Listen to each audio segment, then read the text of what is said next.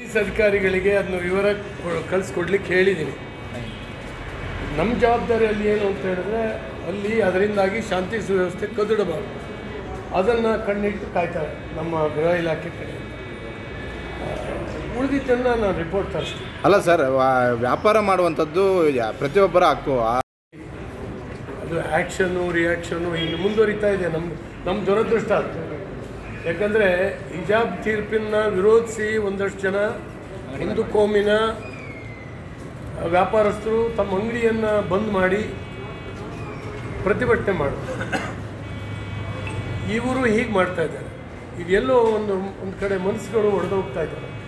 ಅದನ್ನು ಸರಿಪಡಿಸ್ಬೇಕು. ಇಡೀ ಹಿಜಾಬ್ ತೀರ್ಪಿನ ವಿರೋಧಿಸಿ ಒಂದಷ್ಟು ಜನ ಹಿಂದೂ ಕೋಮಿನ ವ್ಯಾಪಾರಸ್ಥರು ತಮ್ಮ ಅಂಗಡಿಯನ್ನು ಬಂದ್ ಮಾಡಿ ಪ್ರತಿಭಟನೆ ಮಾಡೋದು. ಇವರು ಹೀಗೆ ಮಾಡ್ತಾ ಇದ್ದಾರೆ. ಇದೆಲ್ಲೋ ಒಂದು ಒಂದು ಕಡೆ ಮನಸ್ಸುಗಳು ಹೊಡೆದೋಗ್ತಾ ಇದ್ದಾರೆ ಅದನ್ನು ಸರಿಪಡಿಸ್ಬೇಕು ಇಡೀ ಸಮಾಜ ಸೇರಿ. ಈ ಬಗ್ಗೆ ಶಾಂತಿ ಸುವ್ಯವಸ್ಥೆ ಕದಡ್ತಿದ್ದಾಗೆ ನಾನು